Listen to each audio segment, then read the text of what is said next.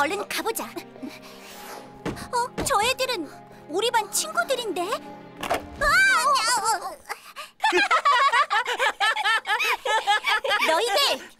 우리 반 모범생들이 왜 이러는 거야? 어? 어, 그게 니키패키 영상을 보다가 따라하고 싶어서 니키 어. 뭐라고? 부셔! 던져! 망쳐!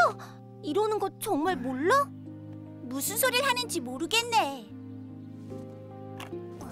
이거나 얼른 치우자. 우리도 도울게. 다들 이걸 따라하는 거였어. 더 많은 사람들이 보고 따라하면 어떡하지?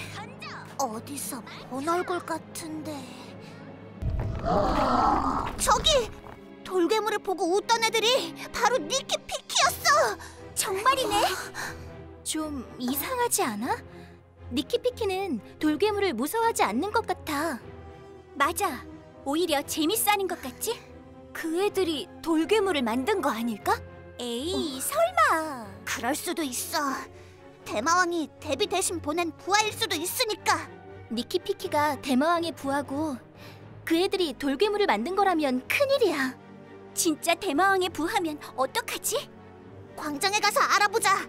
거기 니키피키가 있을지도 몰라. 뭐야? 이건 그냥 돌더미잖아. 이 돌에서 마법의 힘이 느껴져. 니키 피키, 저희들이야. 여긴 왜 온 거야? 괴물은 왜 만든 건데? 왜 왔겠어? 성물과 여신을 되찾아가려고 왔지? 니키, 이럴 게 아니라 우리 힘을 보여주자.